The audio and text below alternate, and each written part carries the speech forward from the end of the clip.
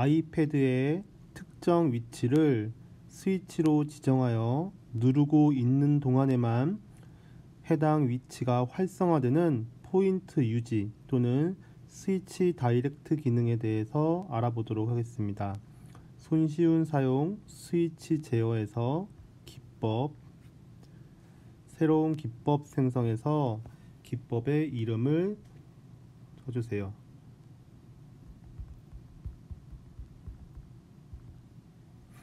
그리고 스위치를 할당하고 해당 스위치의 포인트에서 유지를 클릭합니다. 포인트를 선택하면 해당 위치에 스위치가 연동되고 스위치를 누르고 있는 동안 해당 위치가 활성화됩니다. 다음으로 다른 스위치에도 포인트에서 유지를 통해 direct 기능을 설정할 수 있습니다.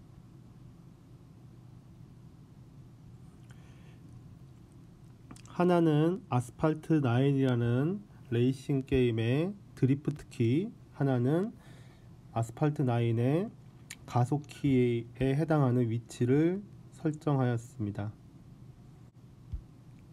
다음으로 기법 실행에서 방금 선택한 기법을 선택하고 스위치 제어를 활성화하면 됩니다.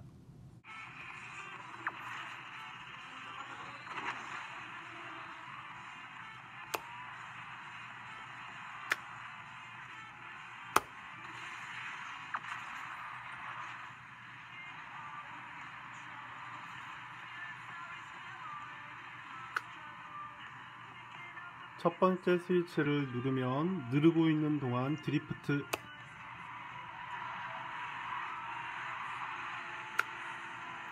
두 번째 스위치를 누르면 누르고 있는 동안 파워 가속